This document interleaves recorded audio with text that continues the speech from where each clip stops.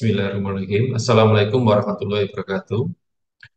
Kuliah kali ini kita akan isi dengan eh, topik terkait cara penyusunan proposal tesis ya. Ini saya share dulu materinya.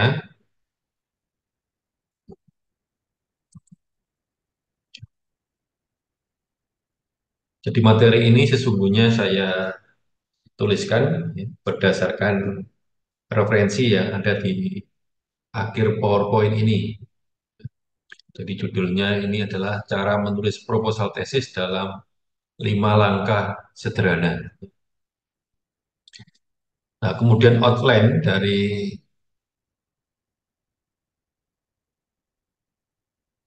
dari isi tulisan ini adalah ya, jadi tadi kalau bagaimana menulis tesis dalam step ya lima step yang sederhana ini adalah how to write a thesis proposal in five simple step. Nah, step yang dimaksud adalah step pertama adalah kita membuat outlining atau membuat kerangka. Nah, kemudian step yang kedua adalah mendefinisikan strukturnya. Kemudian step ketiga adalah merencanakan uh, bagaimana kita menulis.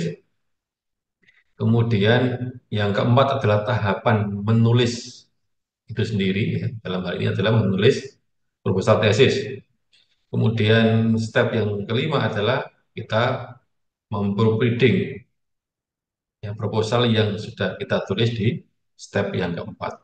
Nah, lima langkah inilah yang kita sebut dalam judul presentasi ini dengan sebutan cara menulis proposal tesis dalam lima langkah sederhana yang dimulai dari step satu membuat kerangka. Nah, kemudian ya, ini untuk pengantar bahwa fungsi proposal tesis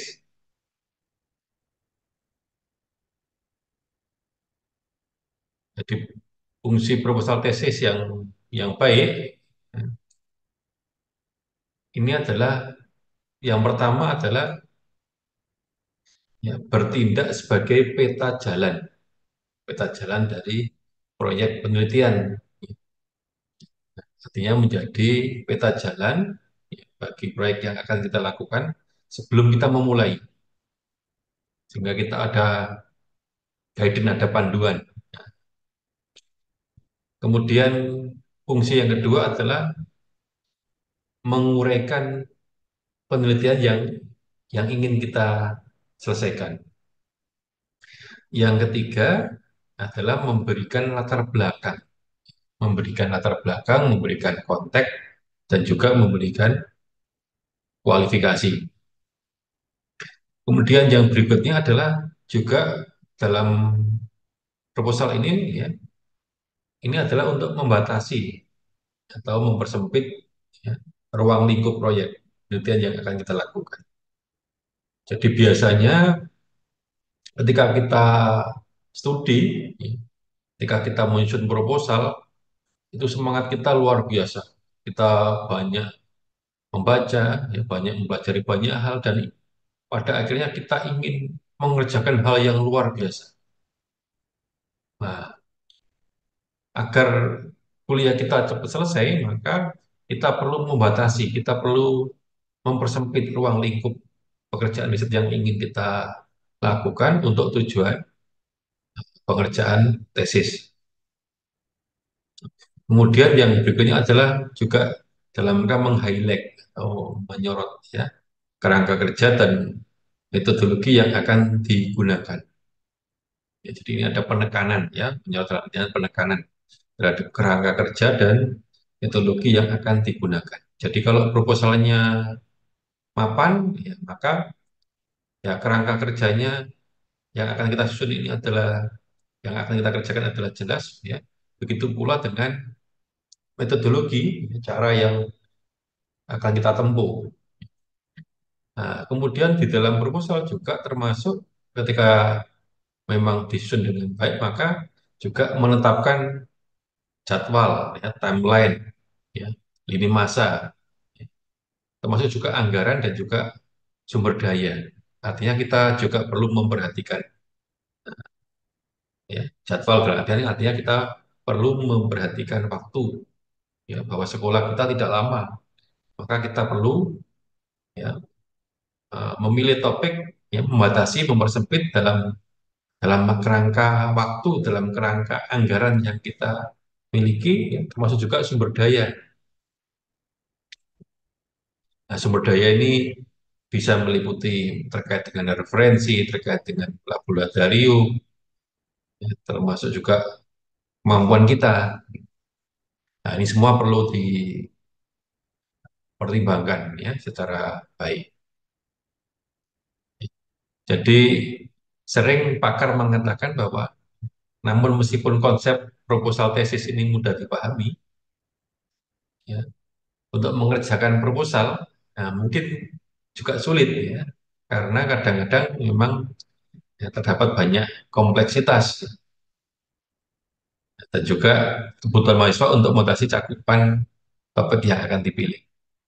Nah, sehingga nanti eh,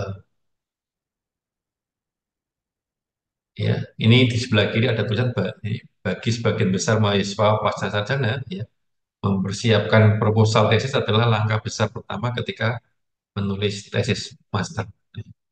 Nah, nanti agar terarah maka ini di link ini ini juga ada kita sertakan template ya, template untuk pengerjaan tesis di S2 Teknik Elektro UAD. Nah, dengan demikian dengan adanya template yang ada ini ya, harapannya juga apa namanya uh, sudah lebih jelas lah kerangka-kerangka yang ada dan apa requirement-requirement yang perlu kita lengkapi. Nah, sehingga dengan template dan strategi yang tepat, maka diharapkan bahwa uh, pengerjaan nanti untuk penulisan tesis ini, ya, proposal maksudnya, ya, proposal tesis bisa dikerjakan dengan dengan baik dan pada akhirnya kita uh, mampu menyusun jadwal, anggaran, dan juga mempertimbangkan sumber daya. Akhirnya kita membatasi, menentukan topiknya, membatasi ruang lingkupnya, nah, sehingga pekerjaan kita untuk menyusun proposal tesis, pada akhirnya mengerjakan tesis, juga termasuk publikasinya bisa berjalan dengan lancar. Ya. ya. Kemudian ya kuliah ini akan menjelaskan ya cara menulis tesis artinya tesis dalam mode yang dalam wujud yang awal ya dan cara mengatasi beberapa rintangan yang dihadapi sebagian besar mahasiswa. Nah, poin-poin penting yang dituliskan di sini adalah bahwa proposal tesis mencakup topik apa yang Anda rencanakan untuk diteliti. Dan ditulis sebagai bagian dari tesis master. Nah, yang kedua bahwa proposal Anda harus menjelaskan dengan tepat ruang lingkup penelitian Anda serta pertanyaan-pertanyaan. Dalam hal ini adalah rumusan masalah yang ingin eh, Anda explore termasuk juga adalah metodologi yang digunakan untuk menjawab pertanyaan tersebut. Nah, tesis dapat bertindak sebagai garis besar proyek penelitian, bahkan mendefinisikan struktur pengerjaan proyek termasuk nantinya adalah bab-bab yang akan diusulkan. Jadi kalau di dunia internasional ini, pembaban ini eh, dibuat agak fleksibel. Nah, cuma di kita atau dan banyak di Indonesia ini ditentukan saja oleh kampus sehingga uh, satu model ya pembimbingannya agak mudah ya. Nah, termasuk juga ini adalah sumber atau referensi untuk penelitian dan banyak lagi.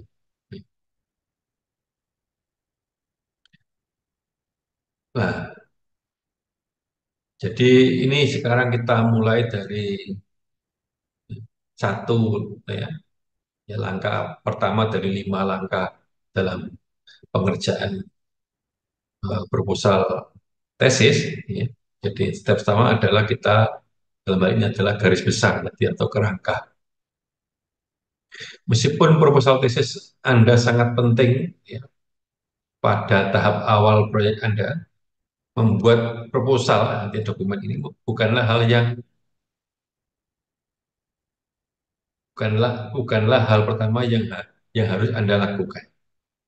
Jadi sebelum Anda menuliskan proposal tesis, maka ya Anda perlu melakukan riset pendahuluan dan menetapkan premis dasar dari kontennya Anda. Nah, premis ini saya berikan definisi di bawah adalah asumsi atau prinsip mendasar yang menjadi landasan suatu argumen atau teori. Nah, kemudian yang ketiga, menulis proposal akan membantu mempersingkat penelitian Anda dan lebih mempersempit cakupan. Jadi, sebetulnya goal, goalnya itu kan menulis tesis. Nah, di dalam rangka menulis tesis ini, kemudian di tahap awal adalah mahasiswa diminta untuk membuat proposal tesis. Dengan adanya proposal tesis, maka hal utama yang ingin diraih adalah bahwa harapannya ini ada uh, ada garis besar, ada outline untuk pengerjaan dari tesis itu agar terarah, terencana ya, dengan mempertimbangkan ya, waktu, ya, sumber daya dan lain sebagainya. Nah, ya, jadi termasuk juga uh, ruang lingkup topik yang akan dibahas. Nah, kemudian yang selanjutnya di sini kita tuliskan proposal tesis Anda dimulai dengan menguraikan materi yang telah Anda kumpulkan. Dan berikutnya hal penting, ya, hal ini penting karena proposal ini bermanfaat bagi Anda dan juga bagi para pembimbing ya, penasihat ya, dan juga dari pihak administrasi kalau memang kemudian ya hal itu diperlukan ya Ya karena misalnya untuk laporan studi itu kan dari tempat kita kerja biasanya ya sudah sampai mana? Oh, sudah membuat proposal. Proposalnya mana? Nah, sehingga di sana juga mungkin akhirnya berhubungan dengan masalah progres studi, berhubungan dengan pendanaan dan lain sebagainya. Nah, masih di tahap satu dalam penulisan proposal dari lima langkah sederhana ini adalah ya yang perlu kita cermati adalah ya berikut ini adalah hal-hal yang Anda perlukan sebelum mencoba membuat proposal tesis. Yang pertama adalah aim scope ya, dan basic question. Jadi tujuan, ruang lingkup, dan pertanyaan dasar. Apa tujuan tesis Anda? Yang pertanyaan, hipotesis, tema, atau ide apa yang ingin Anda uji atau kaji. Resource sumber daya. Apakah Anda memiliki informasi yang Anda perlukan agar berhasil menyelesaikan proyek penelitian ini? Apakah ini, apakah isi penelitian cukup substansial untuk mendalami topik yang Anda inginkan? Apakah Anda memiliki akses terhadap data, terhadap aset, atau peralatan yang Anda perlukan agar proyek ini berjalan? Jadi ketika kita mengerjakan sebuah topik tertentu, tentunya memerlukan data, memerlukan peralatan. Nah, kita bisa punya akses enggak? Nah, jadi jangan sampai kita uh, kemauannya besar, tetapi sumber daya tidak mencukupi, dan ini akan menghambat.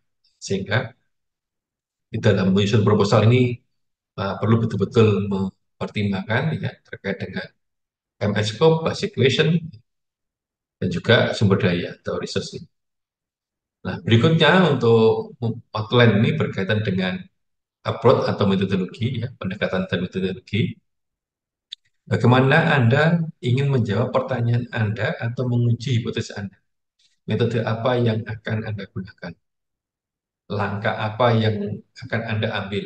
Bagaimana Anda akan mencapai tujuan Anda? Nah, ini uh, di dalam bagian approach atau metodologi ini Nah, ketika kita menyusun proposal, maka tentunya kita sebelumnya melakukan literatur review sehingga atas apa yang kita gagas yang ingin kita selesaikan kita sudah mempersiapkan uh, kajian pustaka ya artinya literatur yang memadai sebagai sebuah referensi dan akhirnya juga sekaligus untuk menyusun metodologi penyelesaiannya.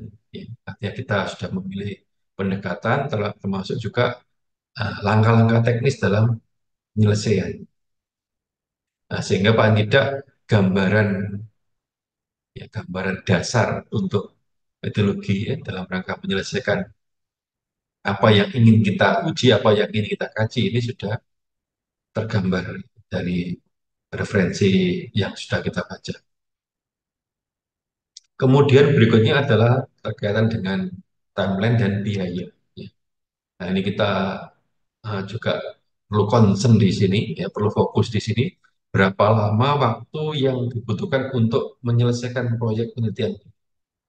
Ini kita harus mengukur, jangan sampai kita uh, merancang enam bulan, pada akhirnya satu tahun pun nggak selesai. Artinya kita perlu membatasi diri yang penting di sana ada satu kontribusi.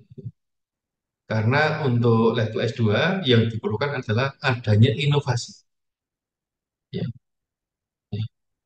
Jadi kalau di S1 itu adalah menerapkan metode ya, dan akhirnya mampu menulis. Kalau S2 ini adalah belajar meneliti dan di sana ya ada aspek inovasi meskipun untuk level S2 tidak dituntut adanya novelty.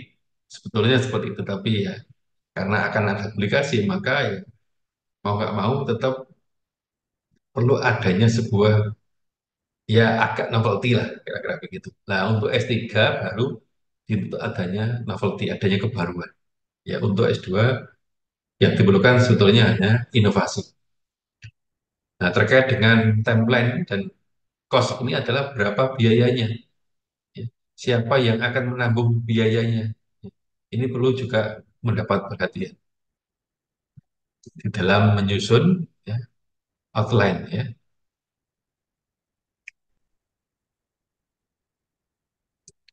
Berikutnya adalah eh, mendefinisikan struktur pembahasan di dalam proposal.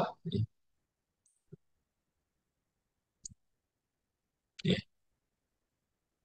Jadi untuk menulis proposal, Anda perlu memahami ya struktur umum ya, uh, dokumen atau uh, struktur umum dari proposal. Bagian-bagian yang khas dari proposal tesis ini kalau kita saat ini masih ini ya, jadi masih merujuk pada referensi yang umum. Nanti kita akan di perkuliahan berikutnya akan merujuk pada referensi yang lebih teknis di panduan yang dipakai di S2 teknik elektro. Tapi ini kita perlu lihat dulu lah ya yang yang berlaku lazim di di berbagai inilah ya perguruan tinggi. Jadi untuk menulis proposal maka uh, strukturnya yang mau dipakai adalah adanya abstrak. Jadi ini adalah garis besar atau lingkasan pekerjaan dan metodologi penelitian. Jadi sebetulnya kalau secara kerangka ini masih sama dengan ya agak-agak sama lah ya, berarti katakan sama dengan skripsi S1. Yang kedua adalah pendahuluan, ya. Bagian yang menentukan atau mengatur panggung. Artinya menempatkan rest of your research. Artinya eh, sisa pertanyaan ya atau sesuatu yang belum terselesaikan yang akan kita selesaikan dan artinya ada ide ya apa yang ingin kita kerjakan bagaimana kita menyelesaikan. Kemudian yang ketiga adalah literatur yang ada atau penelitian penting sebelumnya. Jadi semua ide Anda perlu didukung dengan penelitian dan literatur yang well known ya yang terkenal sebelumnya. Hal ini memberikan kredibilitas dan membantu menghindari tuduhan plagiarisme. Kemudian yang keempat adalah terkait dengan tesis atau project statement. Ya. Jadi penjelasan singkat tentang argumen yang dibuat dalam proposal. Kemudian yang kelima adalah pendekatan atau metode, ya, approach atau metode. Ya, tinjauan singkat tentang bagaimana Anda berencana mendekati dalam konteks ini adalah menyelesaikan topik dan metode penelitian yang akan digunakan. Kemudian yang berikutnya adalah potensi hasil, ya, potential outcome. Anda perlu menguraikan apa yang ingin Anda temukan melalui proyek penelitian. Kemudian yang ketujuh adalah keterbatasan atau limitasi, bahwa setiap penelitian memiliki keterbatasan atau kendala, ya, kendala uniknya sendiri yang mempengaruhi hasil. Nah, maka di sini kita perlu menguraikan batasan-batasan ini dan menjelaskan bagaimana batasan tersebut dapat berdampak pada temuan proposal kita. Nah, kemudian yang delapan adalah kontribusi terhadap pengetahuan, ya. contribution to knowledge, untuk menjelaskan bagaimana pekerjaan Anda akan berkontribusi pada bidang studi Anda. Kemudian juga terkait dengan usulan uh, pembaban. Nah, ini kalau kita nanti kita akan mengikuti template ya. Ini ada linknya nanti materi ini kita share dan ya Anda bisa download ya template yang ada dari link yang ada ini. Kemudian masih di bagian langkah yang kedua, yaitu mendefinisikan, mendefinisikan struktur. Dalam konteks ini akan menjelaskan yang di slide sebelumnya terkait dengan pendahuluan ya, atau introduction. Tadi disebutkan di slide sebelumnya bahwa bagian pendahuluan atau bagian introduction adalah bagian yang menentukan panggung, ya, men panggung. Jadi ibaratnya kayak konser itu ya yang mengatur panggungnya supaya menarik itu di bagian introduction ini. Nah, makanya sebuah proposal, sebuah paper ataupun semua bentuk laporan itu jadi menarik apa tidak itu ketika tata panggungnya, set panggung di bagian pendahuluan ini menarik. Nah, dengan demikian maka bagian ini itu menetapkan konteks proyek yang Anda usulkan dan harus menarik minat pembaca.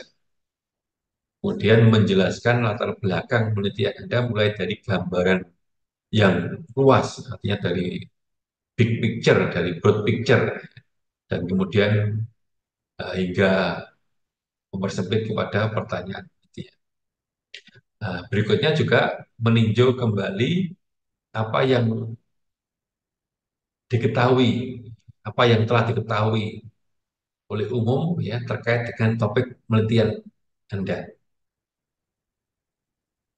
Sejauh dia relevan dengan tesis. Kita juga perlu mengutip referensi yang relevan tersebut. Nah, kemudian pada akhirnya bahwa pendahuluan harus pada tingkat yang mudah dipahami oleh pembaca yang memiliki latar belakang ilmu pengetahuan umum. Nah, jadi meskipun kita dengan teman sekelas itu bidangnya lain, maka proposal ini harus mudah dipahami oleh teman kita yang uh, bidang interestnya berbeda. Masih di tahap yang kedua, dalam dalam mendefinisikan struktur, maka terkait dengan ya, ini salah ketik ya pernyataan tesis ya tesis statement atau tesis atau project statement tadi di slide sebelumnya bahwa ini adalah merupakan penjelasan singkat tentang argumen ya, yang dibuat dalam proposal. Artinya tesis statement ini ya, kalau ada maka akan dinyatakan dalam beberapa kalimat. Kemudian pernyataan ini dapat berbentuk hipotesis, gitu ya.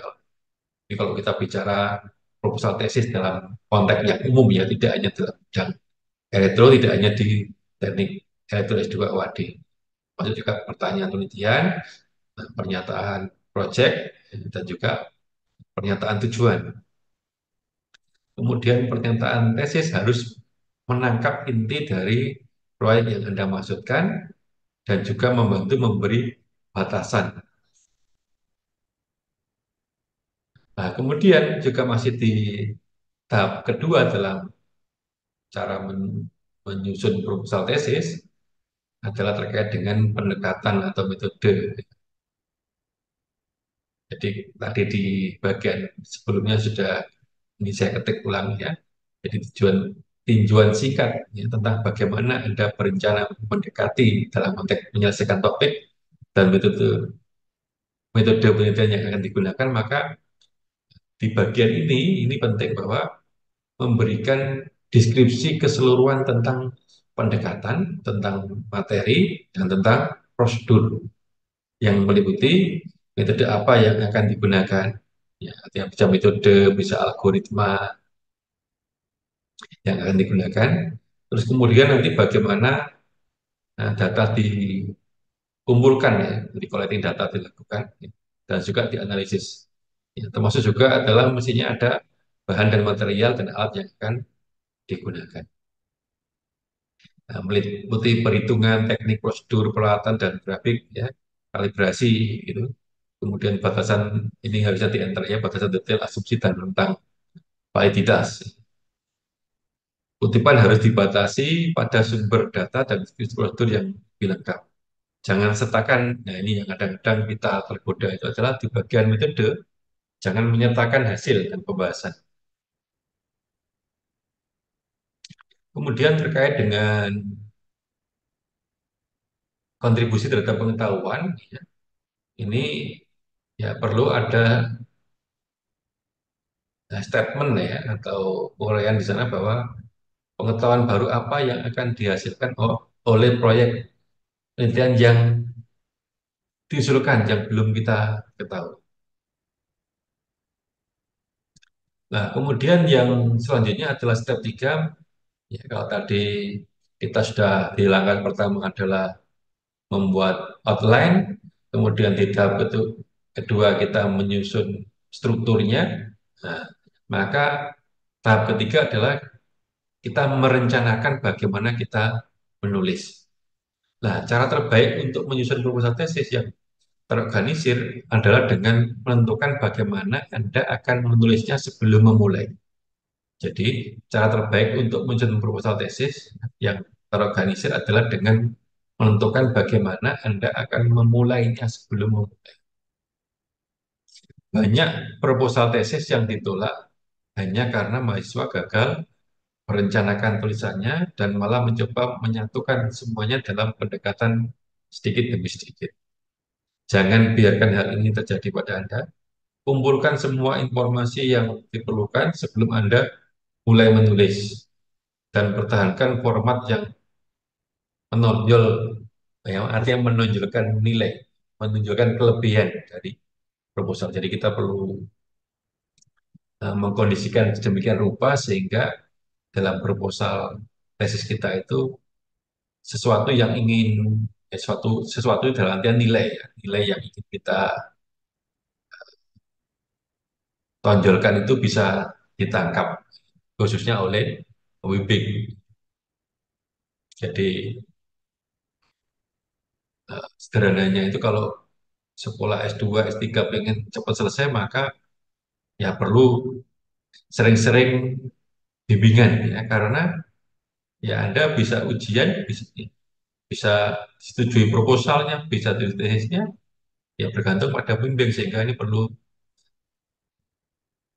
sering melakukan komunikasi sedemikian rupa sehingga uh, mindset yang ada ini sama ya. Kemudian masih di tahapan perencanaan uh, menulis ini adalah uh, jadi alur penulisan proposal tesis yang biasa dilakukan adalah sebagai berikut tadi ini sudah ya ini dari referensi lain Pak ini ya. Tapi paling tidak ini uh, juga akan lebih membantu ya bahwa intinya di dalam menulis proposal tesis maka di tahapan awal kita perlu membuat garis besar buat outline. Jadi ini menekankan yang eh, step satu ya. Kemudian hal-hal yang lain ya, ini juga kita uh, perlu menyiapkan ya. eh, hal-hal mungkin terkait dengan visual ya, tabel, gambar ya, jika diperlukan.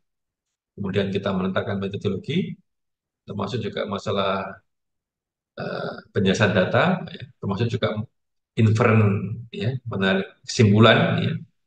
Kemudian juga akhirnya kita menulis bagian pendahuluan, kemudian menulis abstrak dan juga mencantumkan referensi.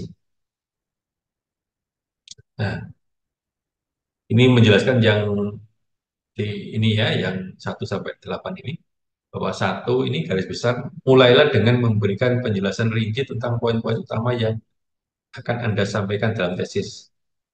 Kemudian dua, siapkan visual. Ini jika tesis Anda menyatakan visual apa pun, seperti bagan atau tabel, ada baiknya Anda mempersiapkan terlebih dahulu. Ini akan membantu mendukung argumen yang akan dibuat. Kemudian kita perlu meneguhkan, menetapkan metodologi. Di bab metodologi, Anda akan menjelaskan pendekatan yang Anda ambil saat menjalankan pekerjaan Anda.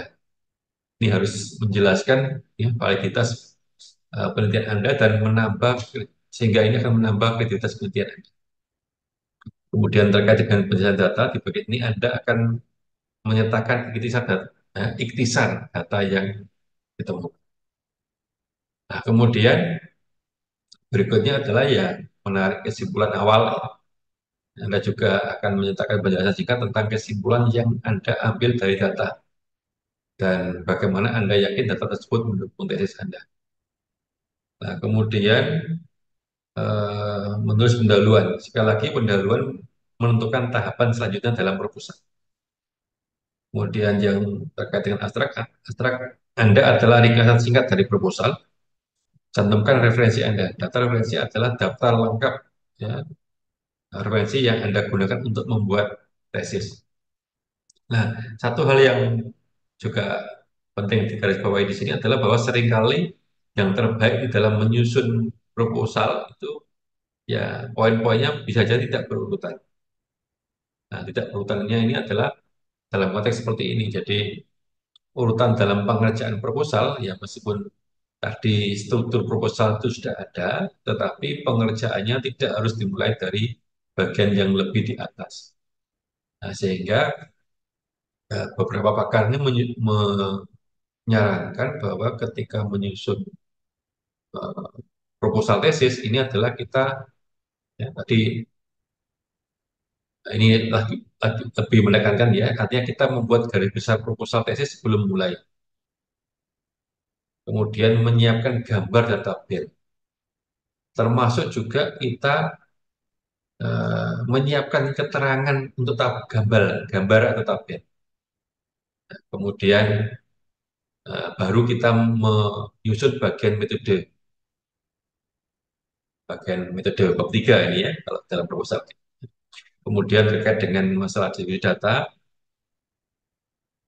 kemudian terkait dengan inferensi dari data, nah, baru kemudian uh, menulis pendahuluan, nah, kemudian abstrak dan referensi.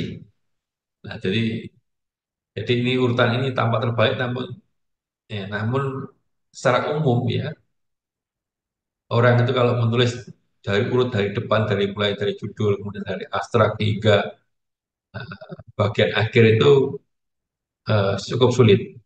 Sehingga baik itu dalam dalam penyusunan proposal dalam penyusunan paper maka di tahap awal ini kita perlu membuat kerangka kita perlu membuat outline. Kemudian sekali lagi kita perlu menyiapkan gambar dan tabel keterangan gambar dan tabel.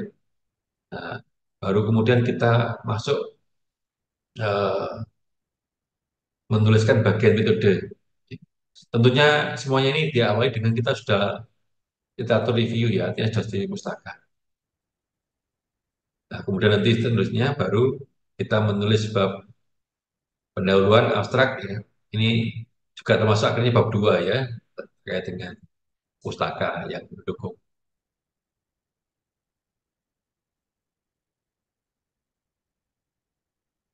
Nah, kemudian kalau tadi step 3 dalam merencanakan penulisan, maka sekarang di step 4 ini action kita untuk menulis proposal tesis. Nah, setelah Anda merencanakan tulisan Anda, ya, inilah saatnya menyingsingkan lengan baju Anda dan menyelesaikan. Nah, artinya di tahap 4 ini tidak lagi bicara plan, tapi bicara action. Nah, proposal tesis sering kali ditulis dalam gaya formal yang membedakannya dari jenis proposal lainnya. Namun terlepas dari formalitas apa pun, pastikan semuanya tetap sederhana.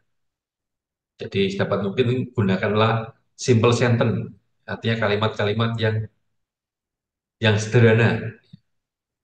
Tidak perlu kalimat yang kalimat majemuk bertingkat gitu ya, sehingga akhirnya uh, membuat confuse atau sulit dipahami. Artinya tetap ringkas dan praktis dengan tetap menjaga objektivitas akademis dan memanfaatkan keterbacaan. Nah, sepatah kata tentang sudut pandang ya dalam konteks tulis tesis ya, proposal tesis maksudnya. Proposal tesis ya seperti halnya tesis adalah dokumen formal yang kaya akan sejarah dan tradisi.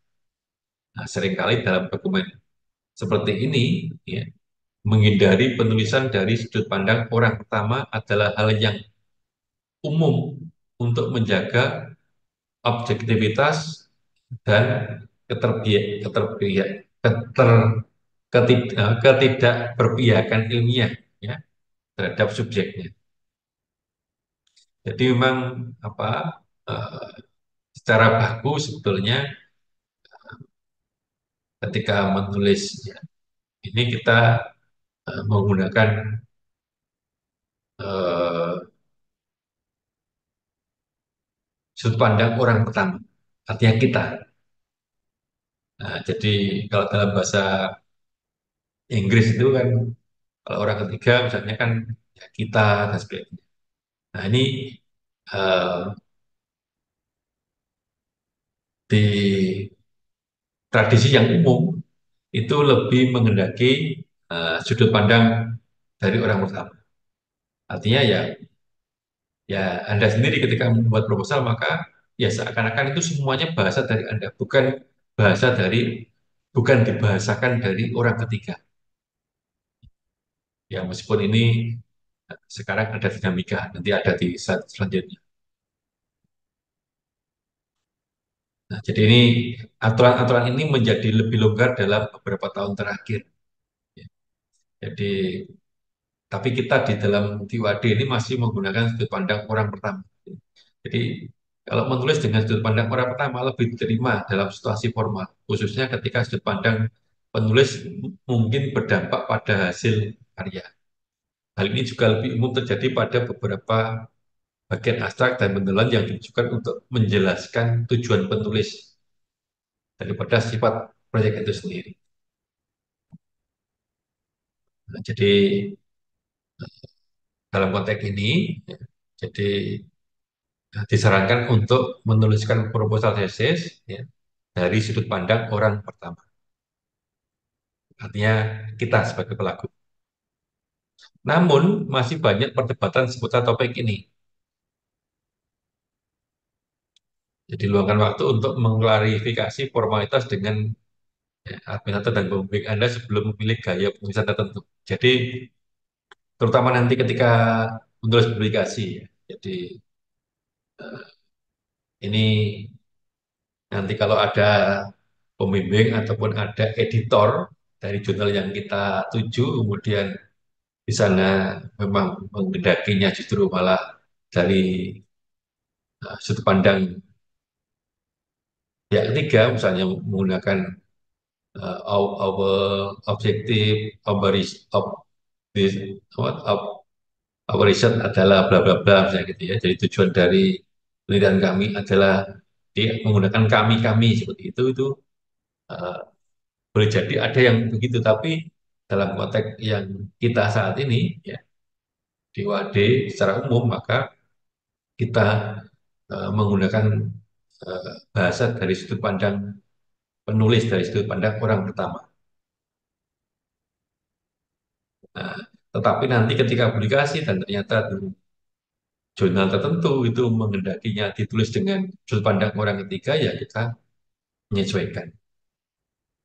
Jadi aturan seputar hal ini akan bervariasi tergantung pada ya, institusi kita dan juga kalau kita publikasi ya tergantung pada uh, pihak lain. Dia akan memilih uh, di dalam tulisan itu dalam sudut pandang orang pertama atau sudut pandang orang ketiga. Nah, kemudian tahap yang terakhir di dalam menuliskan proposal itu adalah proofread ya, biar proposal artinya kita perlu melakukan proofreading dari proposal yang telah kita susun. Namun demikian, ya kita perlu apa namanya ada ada waktu jeda ya, jangan setelah menulis langsung ngecek saat itu. Jadi ya biarkan dulu lah beberapa saat sehingga ya kita sudah mulai ada waktu jeda, ada waktu rehat, ada waktu refreshing sedemikian rupa sehingga ketika membaca ulang ini uh, bisa menemukan ya kekurangan-kekurangan. Jadi proposal tesis tidak boleh mengandung kesalahan ketik atau keterbacaan yang buruk. Jika Anda menunjukkan proposal Anda kepada sesama mahasiswa atau atau teman dan mereka kesulitan memahami apa yang ingin Anda sampaikan, meskipun mereka berada di bidang yang sama dengan Anda, ada baiknya ya Anda merevisi proposal tersebut karena tujuan tadi di awal proposal itu mudah dipahami oleh orang umum sehingga ukurannya itu ya teman kita atau kelas meskipun bidang fokusnya berbeda. Misalnya teman kita uh, lebih dekat ke bidang energi, kita bidangnya lebih dekat ke elektronik, instrumentasi, maka ya idealnya teman kita tetap mampu memahami meskipun temanya berbeda. Teman kita bidangnya image processing, kita topik yang diangkat berkaitan dengan apa namanya robotik atau elektronik daya, ya harapannya tetap bisa memahami. Nah, sehingga ini slide terakhir ini ada best practice ya. Jadi praktek terbaik untuk mengoreksi proposal tesis secara menyeluruh adalah sebagai berikut. Jadi ini saya tulis dari referensi ya, yang ada di akhir slide ya. Bahwa ketika kita mau mengoreksi proposal kita, maka caranya adalah kita baca, kita baca proposal yang kita tulis tersebut dengan lantang. Kita baca. Sehingga kalau kita baca kan kita mendengarkan. Nah, sehingga ada kejanggalan-kejanggalan, ada aneh-aneh, ada kesalahan-kesalahan, ada tipu dan sebagainya, maka ini mudah kita temukan. Nah, ini tadi yang nomor dua sudah saya sebutkan di sebelumnya ya, jangan langsung mengoreksi setelah menulis. Saya, artinya ada jeda ya, jadi ketika sudah selesai menulis, maka jangan langsung mengoreksi, karena kita pada kondisi yang capek ya, kondisi yang lelah, sehingga mungkin akan sulit untuk menemukan atau kita juga stuck bahwa apa yang kita tulis sudah bagus gitu. makanya perlu ada jeda sehingga kita menemukan, bisa menemukan atau upgrade ya kemudian yang ketiga adalah mengkonsultasikan terlebih dahulu dengan rekan kerja atau teman sama kuliah ya. Kemudian hal yang lain adalah gunakan beberapa pemeriksa ejaan atau alat tata bahasa. Jadi kalau bahasa Inggris misalnya pakai Grammarly dan sebagainya.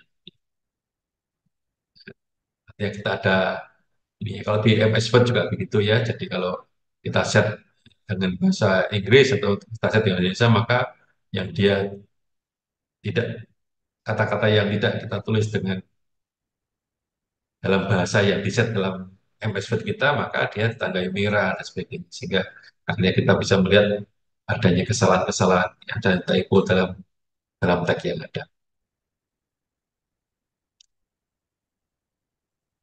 Nah, terkait dengan tadi ya membaca proposal kita sendiri dengan suara yang lantang, maka ini ya membaca dengan suara keras akan membantu Anda menemukan masalah tata bahasa dan struktur kalimat dengan lebih mudah.